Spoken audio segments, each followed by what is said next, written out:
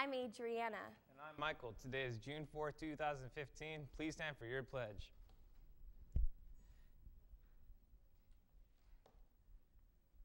I pledge allegiance to the flag of the United States of America, to the republic for which it stands, one nation, under God, indivisible, with liberty and justice for all. Yearbooks will be distributed today during, the three, during lunch and after school in the 300s courtyard.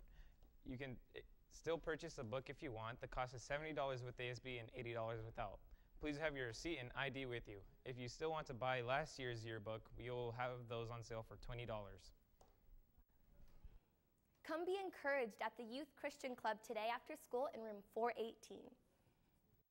Hey Loganites, are you deficient in credits and therefore in danger of not graduating? If so, it is not too late to turn in your summer school application to your counselor. Applications are available in your house office. All applications will be processed on a first come, first served basis. Logan is not accepting checks for the remainder of the school year. Cash only. Thank you. Prom pictures are available for pickup at the student windows during both lunches. Make a difference. We are collecting donations for schools in Costa Rica. Bring pens, markers, stickers, rulers, or any small supplies to room 534 by June 5th. Logan students will hand deliver them in June.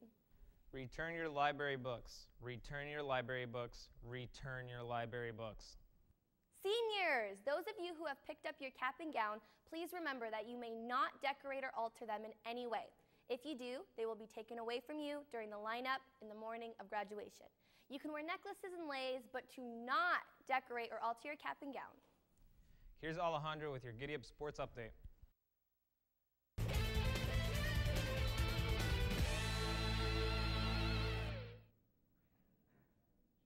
Good morning, Logan. This is Alejandro with your Giddy Up Sports Update.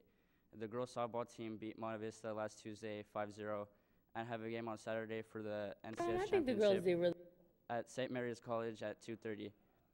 The Lady Colts basketball team played in the second round of the NCS playoffs. Here's a short news story about the team.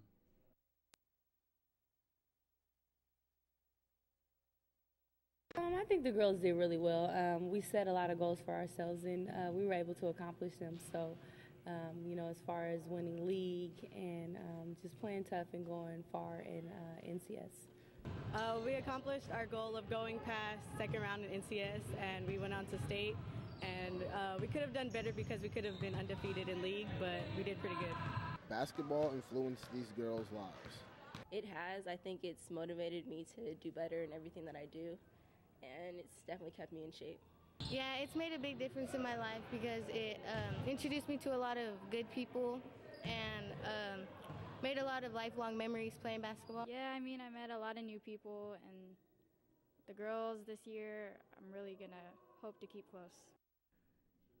To see the complete story, visit logantv.net and click on the news tab. That's it for Giddy Up Sports Update. Back to you guys. That's it for Logan Live June 4th, 2015. To see a recording of today's show and other student-produced videos, visit logantv.net. Go out there, and make it a great day or not. The choice is yours.